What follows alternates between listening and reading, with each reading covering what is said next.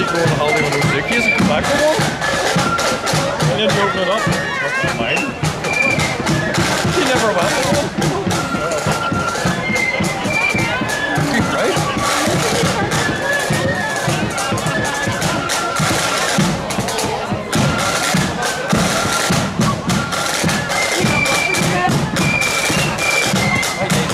I only do two trades.